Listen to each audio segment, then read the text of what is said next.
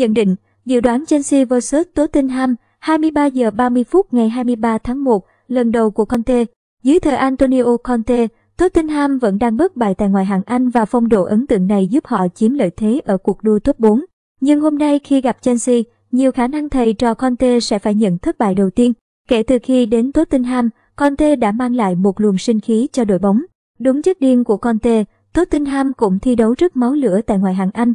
Họ trở nên chắc chắn, làm lì khi cần, nhưng cũng sẵn sàng chơi với sự bùng nổ, tinh thần chiến đấu điên cuồng khi rơi vào khó khăn.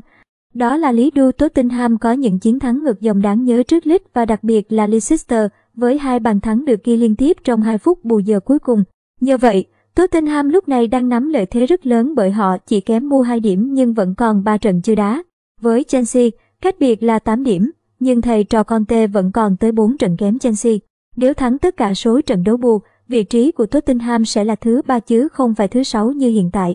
Để làm được điều đó, dĩ nhiên Tottenham cũng sẽ phải hạ Chelsea hôm nay, nhưng e rằng đây là thử thách quá khó với thầy trò Conte.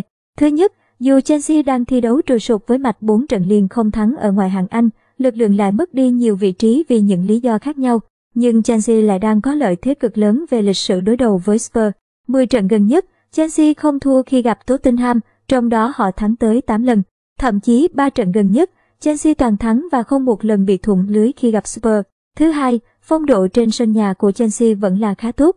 Họ mới chỉ thua đúng một trận tại Stamford Bridge từ đầu mùa giải này. Trái ngược lại, Tottenham đã sân khách khá tệ. Nếu tính thành tích sân khách, họ đứng thứ 8 chứ không phải thứ 6 như hiện tại. Trong những lần gặp các câu lạc bộ ở nửa trên bảng xếp hạng từ đầu mùa, Tottenham hầu hết đều thua. Họ thua Arsenal, West Ham. Kết quả khả dĩ nhất với câu lạc bộ này có chăng là trận hòa quả cảm 2-2 với Liverpool. Dưới triều đại của Conte, Tottenham hầu như chỉ biết bắt nạt các đội bé. Vì vậy khi gặp ông lớn Chelsea, đội bóng đang quá khát thắng sau 4 trận liền chỉ hòa và thua tại ngoại hạng Anh.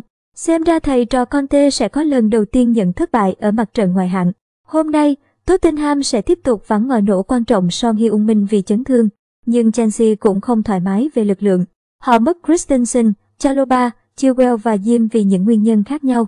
Như vậy một nửa số lựa chọn ở hàng thủ của Chelsea sẽ vắng mặt, chưa kể thủ thành Mendy vẫn đang dự can.